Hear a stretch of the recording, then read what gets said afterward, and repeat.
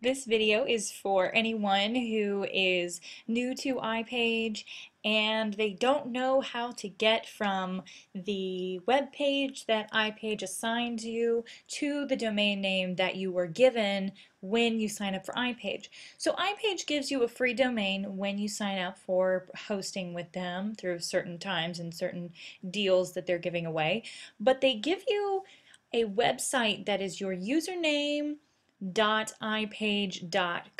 That is your, your home base for your control panel. And to get from that website to the actual site, the domain name that you wanted to register, when you're in your logged in control panel, click on Domains drop down here. Click on Register a Domain.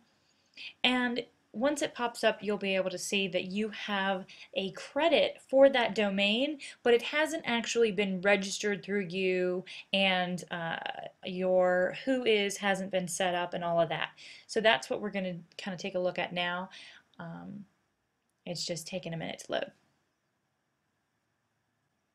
Okay, so here is the iPage domain central area. You'll type in your domain here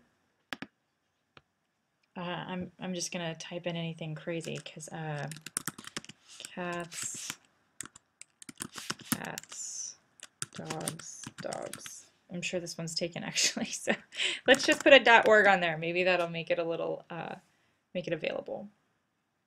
So then it's going to search for it like this. And we can select one of our things here. So um, imagining that you have a dot .com or free website available, click on add.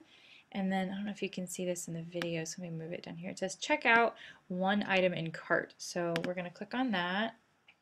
And this is including your privacy into that. Take us to checkout.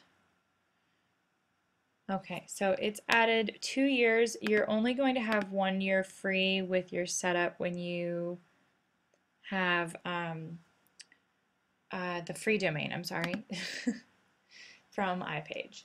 So I'm telling it to process.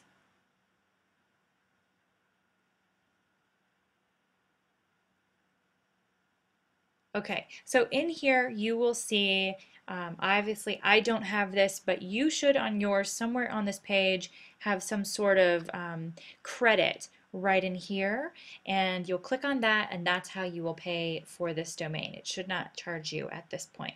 I hope that helps. Please somebody if you go through all of this process and it doesn't have your little credit there um, let me know so that way I can uh, kind of update this video for you all. Thanks so much.